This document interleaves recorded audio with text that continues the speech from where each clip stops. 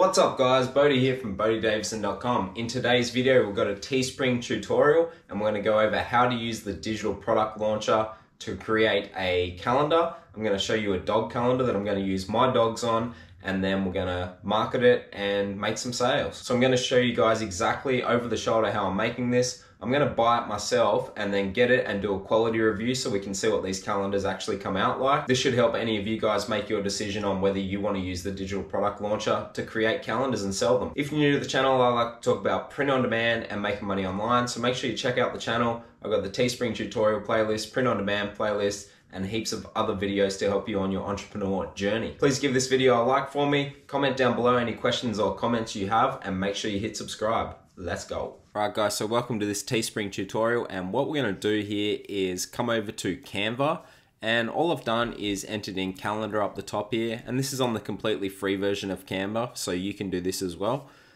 What I want to go over in this Teespring tutorial is you can create calendars and sell them on Teespring. So since Teespring changed over to Spring, they do have the digital products that you can sell. I want to test this out, so I'm going to create a calendar. I have two Labradors that some of you will know about, some of you won't. And what I've done is created a calendar over here and just started putting their photos on them. So all I did was chose a calendar from here. I went down, had a look, and I like the look of this one and then it's completely free as I said on the free version and then I thought this big space here will work well for the photos so it's a clean nice enough looking calendar and then I've just changed the photos in the background all I've done to change the photos is you click here and then you can go delete and then just drag these photos across onto there. I uploaded a heap of photos, some really good photos I had on my phone and on Hershey and Enzo's Instagram. They've both got Instagrams. And these are just some of the popular posts. So I've just put them on here. And the thing with this is like, this is a very high quality photo taken at our wedding a couple months ago. But this one here is a little bit distorted and this one's a bit distorted, still looks cool. This one looks pretty good. This one's a little bit distorted. So is this one. And the reason that I'm going with these photos that do look a bit distorted is because I actually want to buy this myself and then get it sent to me and then I'm going to do a review on the quality. So my my thing here is I'm wondering whether when you do get these printed out what the quality transfers over like. So it'll be a good test and just this little bit of distortedness in the photos it'll be very interesting to see what that ends up looking like once I get the printed out version sent to me so this will be a really really interesting test for both me so I can see the quality and for you guys because I'll do a review on it once I get it and then we can go through it together and you can see what the quality's like as well. We'll do a review and we'll check out the photos that I use like this that are a bit tiny tiny bit blurry and then um, we'll be able to look back on it and be like, okay, so they do print out exactly as they appear on the screen. So all I've done is, as I've dragged these over here and got this finished, then I just downloaded it, and then we're going to go over to Teespring and we're going to go through how to upload it. So this will be my first time actually doing this, and actually, you know, I'm going to buy it myself and send it to myself. So if we just go start designing, and we'll click start designing again, for whatever reason you have to do that twice. Anyway, then we're going to come down and we're going to go digital. And what we're looking at here is, I guess you would call this digital planner. So let's click on this. So here it says select the category that best describes your digital product. Choose digital product if you don't see a relevant option. They don't have calendar here, so I might just select digital product. And then we're just going to upload it. So we've got it selected. Let's click open. So it says your file has been added successfully. We'll upload it to your digital product listing once you hit publish. All good then. And then it wants to add some images here. So maybe I'll go back and just do some screenshots of what the calendar looks like.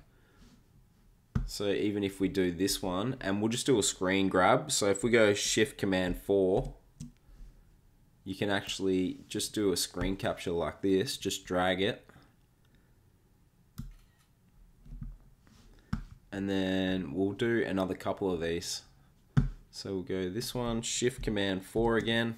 I am on an iMac, so it might be different for you, but just Google it if you don't know how to do a screen grab, or just use the snipping tool. Most computers have snipping tool. This one's really cute as well, and I really like this one as well from our wedding, which is a really cool shot of Hershey. Alright, so we've got our four photos, and that will work well for this. So let's upload them. So this one will be the featured one over here. We might just drag, can you drag this? Okay, so I just deleted them and re-uploaded them because I wanted this to be the featured image and you can't drag it across from what I can tell, which is weird. Um, so let's name the title. So we'll call it uh, Hershey, Hershey and Enzo calendar because that's the two dogs' names and that's all I can think of. Add this product to an exist existing store. Might as well add it to one. URL, that's good. So Hershey and Enzo calendar, that comes up really well. Now just type out a bit of a product description. Couldn't think of much for the description, that'll do. Public, visible to everyone, that's what we want. We don't want it to be private. Who made this content? I made it. Uh, let's put the calendar as... So I was wondering what to price the calendar at. They actually have this in the Teespring community. So they're saying Lightroom preset at $10. Uh, what should be the retail price of my digital product? Wallpapers range between $2.99 and $9.99 and coloring pages or books between $5.99 and $12.99. So that tells you a little bit, not heaps. I think I'm just going to put it at $10. I think a calendar for $10 is fair enough. Making it $8.60 profit per sale. Then you just got to click this to make sure that you're agreeing that you made it. And we're just going to go publish uploading your digital asset. So this is my first time uploading a digital product on Teespring. Very excited about it. Happy to bring you this Teespring tutorial going over it. All right, so here it is on the website. So this looks pretty cool. And as you can see, it just comes up with these four that I uploaded so you can check it out, see what it looks like. And I'm glad that's the featured photo. It looks really good. So it's clicked over to Australian dollars now. It wouldn't let me select Australian dollars when I was pricing it, which was weird. But so that works out to be $13.11. And this pretty much sums it up, guys. So looks looks quite good actually. Um, now I'm gonna buy it. Okay, guys. So I ended up ordering the sample. I ended up just going back to my own listing here and then went to order a sample instead of paying the full price off of the website because it doesn't really make sense. It only ended up costing like 67 cents to get a sample sent to me. So that is pretty good, pretty good. And then the shipping time, two to three weeks they're saying for delivery. So it's not an instant delivery, but I'm in Australia, so I wonder if that makes it different.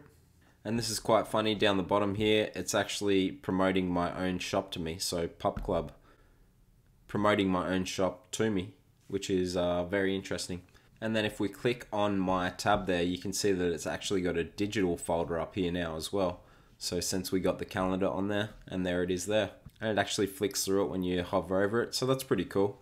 Anyway, we'll finish this video here. Thank you very much for watching. I hope you enjoyed this Teespring tutorial. One more way of using the digital product launcher and getting used to these new things we can do on Spring. I hope you guys enjoyed it as I said. Please give the video a like for me. Comment down below any questions or comments that you have. Make sure you hit subscribe and I'll see you guys soon.